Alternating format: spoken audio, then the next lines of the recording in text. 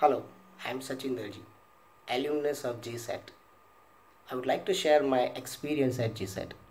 I did my undergraduation in Electronics and Communication Engineering and post-graduation in Communication Engineering from GCET. At present, I am working as a lecturer. While uh, talking about GCET, it is needless to say why it is considered among the reputed and recognized engineering institutions there are definitely reasons behind that. The first thing is the faculties who are the pillar, who are like a pillar for any institution. Well, GCET has got uh, very well qualified faculties and majority of the faculties are having uh, doctoral degrees and uh, several faculties have got uh, uh, IITs, IIT exposure as well.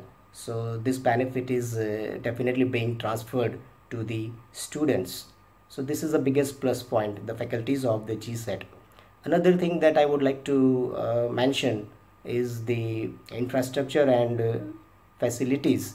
Especially if I talk about uh, uh the department I studied EC department. Uh, it has got state of the art laboratories which are equipped with uh, instruments and trainer kits and all that.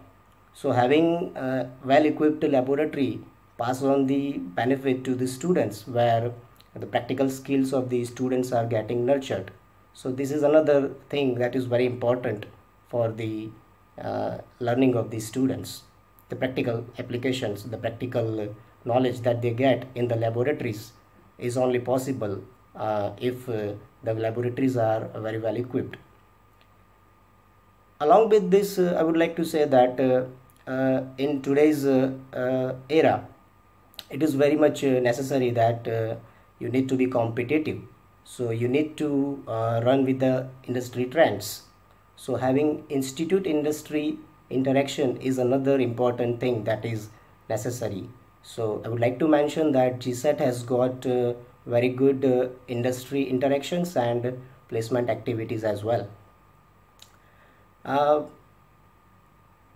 at last i would like like to mention about the another activities like uh, uh, apart from the curricular activities i would like to mention uh, how can i forget co-curricular activities and extracurricular activities the technical festivals and the cultural events uh, they are the things which make uh, the GCET more lively and vibrant.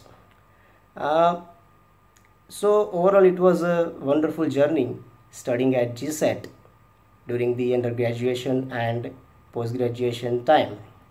And there are a lot a lot many memories to cherish for lifelong. So at last uh, what should i say? I mean proud to be GCETian